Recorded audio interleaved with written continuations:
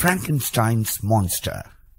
The right to create life is the work of God. The work of God is the natural state of things.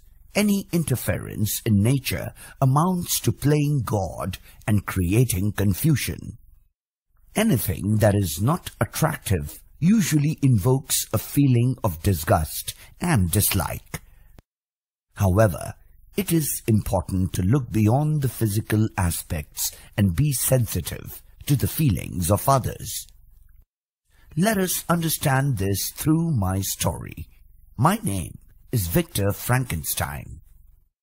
I attended college in Ingolstadt, driven by the thirst to know the secret of life. While most of my teachers did not impress me, Professor Waldman's speech inspired me a lot. It motivated me to learn more about the mysteries of creation.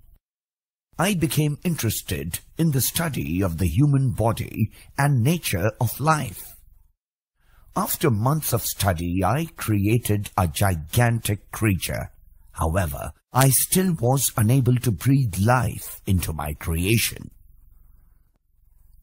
Then, on a cold November night, my efforts bore fruit. The gigantic creature opened its eyes, breathed, and jerked its body.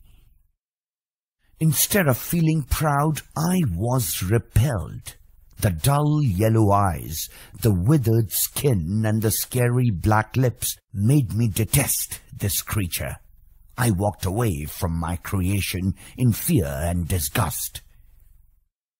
As I walked away, the creature looking at me in sorrow, as if saying, Don't leave, father. Did I abandon my duty as a father? So, you see, while knowledge enriches us, the indiscreet pursuit of knowledge comes with its own risks.